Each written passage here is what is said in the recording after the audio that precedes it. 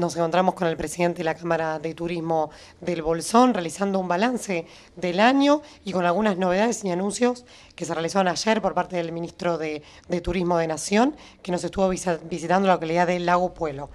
¿Cuál es el balance, primero que nada?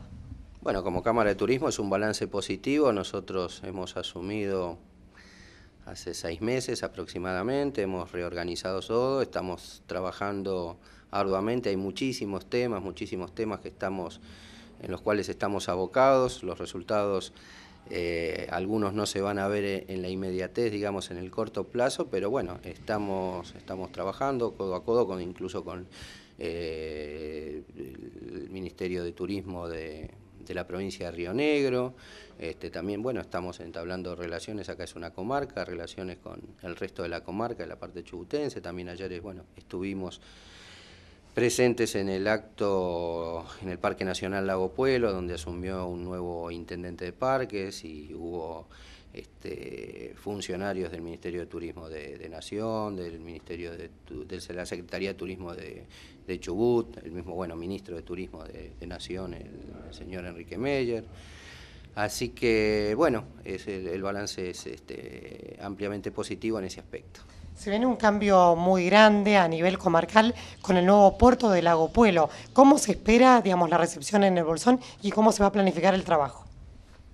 Bueno, los muelles, el muelle del Lago Pueblo todavía no está terminado. O sea que vamos a, este, según el, el, ministro de Turismo, bueno, en el transcurso del año se debería terminar. Lo más importante, o uno de, de, los temas importantes que anunció el ministro es el llamado a licitación para el transbordador, eh, con, por el cual no solamente vehículos, sino también personas van a pasar desde Argentina a Chile, ¿no? en, Lago Puelo.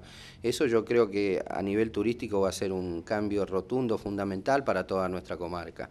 Vamos a tener una conexión este, con la parte chilena, Puerto Montt, aeropuerto, Bariloche, o sea, va, a traer un circuito que va a traer un, un movimiento turístico este, eh, interesante que lo tendríamos que ver la forma de aprovechar. ¿no?